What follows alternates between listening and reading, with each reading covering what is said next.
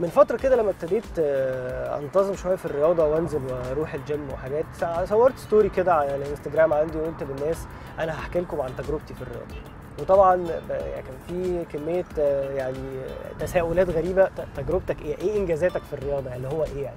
خدت ميداليات أنت يا دوب لسه بتروح الجيم. ما كانوش عارفين تجربتي في الرياضة اللي أنا عايز أحكي عنها تجربة تأثير الرياضة عليا نفسيا بشكل رهيب. طبعا الرياضة أثرت فيا آه، جسديا آه، صحيا يعني في صحتي وفي جسمي وفي نفسي حتى كمنشد. لكن كمان كان ليها تأثير آه، نفسي عجيب. ومش هكون مبالغ لو قلت لكم إنها أثرت في شخصيتي كمان.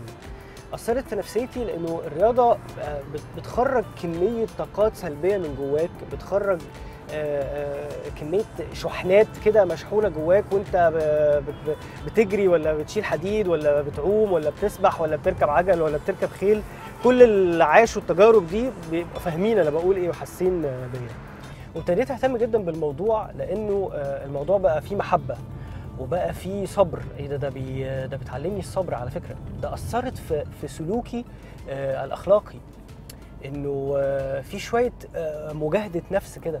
انه ممكن اكسل في يوم ممكن يوم التمرينه تكون تقيلة شوية فعضلاتي تشد فلقيت إن في حاجة اسمها لا مثابره وبقت جزء من الأولويات. فبقيت عارف يعني إيه أولويات؟ أنت يومك مزحوم جدا آه، عندك شغل عندك دراسة عندك مواعيد كتير فمش عارف توفق ميعاد التمرين بتاعك فبتحاول تعمل لنفسك سكادول عشان يبقى ميعاد التمرين بتاعك ثابت. فبعد كده بتحاول تطور نفسك أكتر علشان تاكل أكل صحي علشان مش تفضل تتمرن وتتعب في التمرين وبعد كده تدب أكل مش تمام فيروح التمرين كله على الفاضي. فتحس إنها بتعيد تكوين يومك بتعيد آه، آه، تكوين حياتك. فمن هنا لقيت إنه لأ ده موضوع كبير يا جماعة مش فكرة إن أنا أنزل رايح الجيم وخلاص.